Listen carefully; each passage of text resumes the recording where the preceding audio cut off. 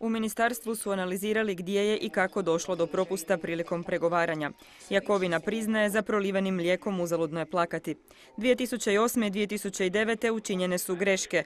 Vlada i Ministarstvo poljoprivrede tada nisu reagirali, odnosno nisu uložili prigovor na registraciju terana od slovenske strane. Radimo na tome da na najkvalitetniji način zaštitimo interese hrvatskih vinara.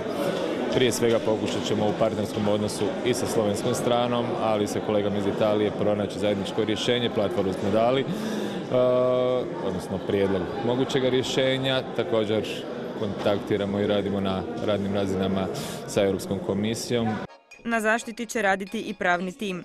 A ovo je dobra škola. Zaštititi treba izvornost vrijednih proizvoda koji će time dobiti na snazi.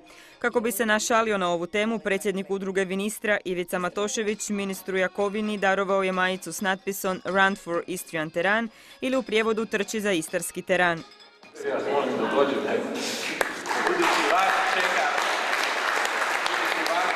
Svjesni smo da je u ovom trenutku pitanje terana manje tehničko, a više političko. E, mi ćemo svakako pomoći pripremiti one argumente koji su potrebni, a tu prije svega mislim na povijesnu dimenziju terana, na stručnu dimenziju razlike između terana i refoška, e, na onu stranu legislative koja je postojala, zapravo moramo znati da je teran službena sorta kod nas, a isto tako i u Italiji. Sinoć su podijeljena posebna priznanja Franki Štihoviću i Milanu Legoviću za organizaciju Akatunaru iz Iganteu za 20 godina sudjelovanja na Vinistri. Dodijeljene su i 24 IQ oznake za svježe malvazije iz prošlogodišnje berbe, te dvije za zrelu malvaziju iz 2011. One su otišle vinarima Trapanu i Kozloviću.